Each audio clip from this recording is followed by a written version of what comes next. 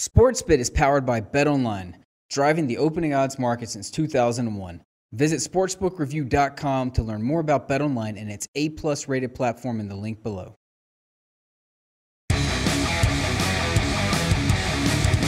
Welcome back to Sports BIT Betting Insight today from SBRPicks.com. Let's get right into it. Bowl previews the Cure Bowl in Orlando, Western Kentucky. The Hilltoppers minus five and a half and 52 against the Georgia State Panthers. And look, Western Kentucky's first season in the post Jeff Brohm era wasn't very good.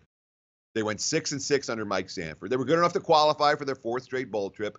And this team's been really good under Brohm in bowls. 3 and 0 straight up, 2 and 1 against the spread.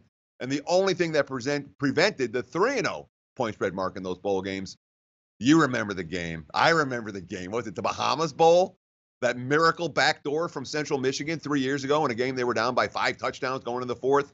If you watched it or bet it, you're going to remember that. Uh, bottom line is Western Kentucky was a right side winner in that contest as well. The last two years, uh, Hilltoppers, they've traveled well. They traveled well to Miami. They traveled well to Boca. Uh, so the fact they're going to Orlando, uh, I think they'll draw pretty uh, pretty well for this contest.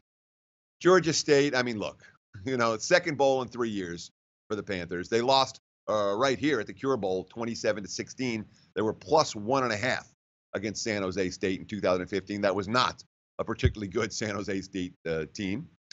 Shawn Elliott got them there uh, back in his first season on the job, although uh, when you look at the team, it's hard to see how they got a bowl bid.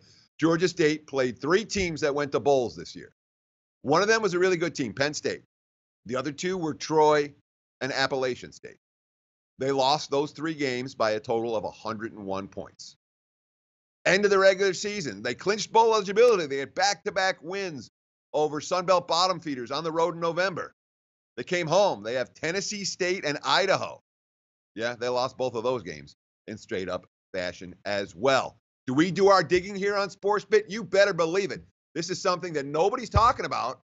I mean, nobody. That's why you watch the show. Big time talent. Georgia State has one. They have a wide receiver named Penny Hart. He has 73 catches, 15 yards per, per reception, nine touchdowns. How about this little digging from the student paper after the loss to Idaho to finish the season? All Sunbelt wide receiver Penny Hart left the game and did not return after a 48 yard completion in the first quarter. I've been Google Newsing him, not seeing anything yet. It is an impact injury if he does not play. All the other wide receivers on the team combined to catch five touchdown passes, and there's really not much uh, from this Georgia State ground game. Look at the graphic. Three running backs, yeah, three and a half yards a carry, 2.9 and 3.3. They're the only team in the nation not to have any of their top three rushers reach four yards per carry. Heck, none of them better than three and a half yards per carry. On the other side of the equation, of course, with Western Kentucky, you've got a, a QB who has NFL potential. The scouts will be watching Mike White. That being said, Mike White, man, senior year, a real disappointment off what he did last year. Look at the numbers. Last year, number three in the nation in passer rating, 37 touchdowns, 10.5 yards per pass attempt. This year, completion percentage down, yards per pass way down, passer rating way down. Even with that, I mean, you look at Georgia State, you say, why the heck is this number so short? Shouldn't Western be laying a touchdown or more in this ball game? Well, maybe, Maybe not. The Hilltoppers, they tanked down the stretch. They went five and two to open the season. They went one and four to close out. Their only win came on senior day at home in triple overtime. You know, this isn't much of a defense to be laying points with. And it's certainly worth noting that uh, Western Kentucky's last win by enough of a margin to cover this point spread came October 14th. That's more than three months before kickoff. That being said, I don't want Georgia State. If I'm playing, I'm laying Hilltoppers are pass for this better. When we come back on Sports BIT, more big game breakdowns right here. Don't touch that dial. Dial. What century am I living in? Don't click on the next video. That's the way to go. Right here on Sports BIT. Betting Insight today from SBRPicks.com. Hey guys, thanks for tuning in to our channel.